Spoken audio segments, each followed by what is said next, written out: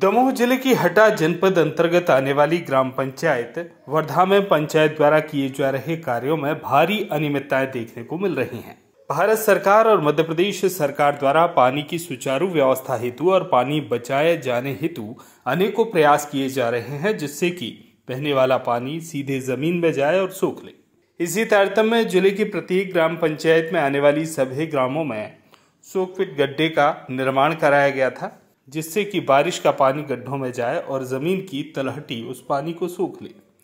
यह सोकपिट लगभग 10 फुट चौड़े और 10 फुट गहरे होने चाहिए। साथ ही किसी भी प्रकार की कोई दुर्घटना ना घटे। इसके लिए सोकपिट गड्ढों को लेंटर डालकर ढकने का प्रावधान भी शासन द्वारा किया गया। लेकिन इसके बावजूद भी वर्धा ग्राम पंचायत के कर्मियों द्वारा पंचायत के ठीक बाजू से बने हुए सोकपिट गड्ढे को खुला छोड़ दिया गया है।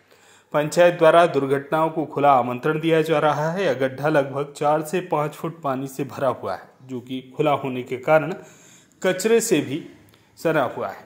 ग्रामीणों ने बताया कि गड्ढे के पास लगा हुआ नल उन्हें जीवन दान मिल रहा है। केवल यही नहीं, जिसमें अनेकों ग्रामीण पानी भरने के लिए आते हैं।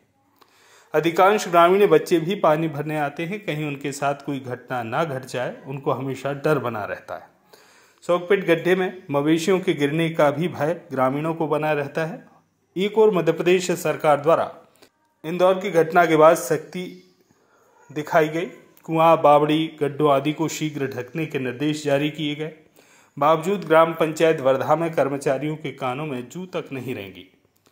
हटा से भूपेंद्र श्रीवास्तव की रिपोर्ट।